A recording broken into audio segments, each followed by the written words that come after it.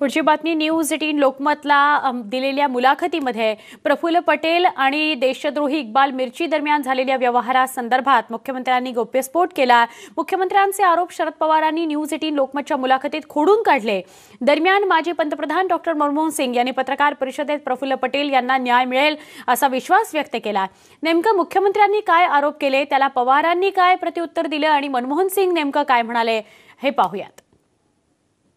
जे डॉक्युमेंट पोलिसांसमोर किंवा ईडी समोर आलं ते डॉक्युमेंट असं होतं की ज्याच्यामध्ये इक्बाल मिर्ची जो दाऊदचा राईट हँड आहे मुंबई बॉम्ब ब्लास्टचा अक्युज्ड आहे त्याच्या परिवाराच्या सह्या आणि प्रफुल्लभाईंच्या सह्या किंवा त्यांच्या परिवाराच्या सह्या असं हे पूर्ण डिलिंग झालेलं त्या ठिकाणी दिसलं.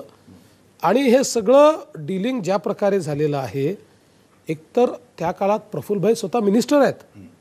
एका मंत्र्याला अशा प्रकारे देशाच्या शत्रूशी या देशामध्ये जे वॉन्टेड आहेत त्यांच्या परिवाराशी अशा प्रकारचं डिलिंग करणं हे शोभेल का? हे कायदेशीर होईल का? हे योग्य आहे का? असे अनेक प्रश्न यातनं तयार होतात. एवढं काय कंपल्शन होतं की इक्बाल मिरचीकडनंच एखादी गोष्ट विकत घ्यायची होती? आणि म्हणून मला असं वाटतं की अशा प्रकारचे डॉक्युमेंट्स सापडल्यानंतर देशहिताचं तर नाही आहे एक वेळ देशद्रोहाचंच म्हणता येईल अशा प्रकारचं हे काम आहे. मग याच्यामध्ये ईडीने शांत बसून राहायचं की कारवाई करायची? त्यामुळे ईडीने जर कारवाई केली तर चूक काय आहे? उलट ही तर कारवाई केलीच पाहिजे ना? आता त्यांच्यावर जबाबदारी आहे. हे त्यांनी सांगितलं पाहिजे आणि पवार साहेबांनी देखील सांगितलं पाहिजे ना? कारण पवार साहेबांचे प्रफुल्ल पटेल हे राईट हँड आहेत.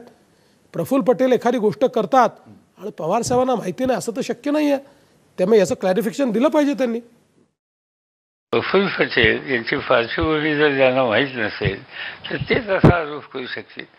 प्रफुल्ल पटेल ह्या संबंधमालाच्या केसचे डिटेल्स माहिती नाहीत पण माझ्या वाचनात आलं की ती जमीन काहीतरी त्रेसष्ट का चौसष्ट साली घेतलेली होती.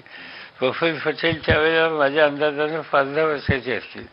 प्रफुल्ल पटेलांचे वडील हे बिडीच्या धंद्यातले या देशातले एक होते.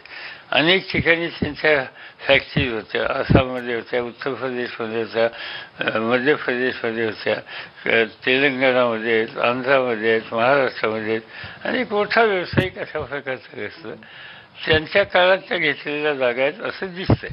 मी काही त्याच्या पूर्ण खोलात गेलो नाही पण माझा शंभर टक्के विश्वास आहे की प्रफुल्ल पटेल कधीही चुकीची गोष्ट करणार नाही आज कुणीतरी त्याच्या संबंधीचे काहीतरी आरोप केले की काही दिवस त्या आरोपातून एक राळ उठवली जाईल ईडीने त्यांना बोलवलं असेल तर ते जातील आनंदाने फॅक्ट पुढे होतील आणि वस्तुस्थिती बाहेर As far as Praful Patel's case is concerned, the rule in our country is that a person is innocent till he is proved to be guilty.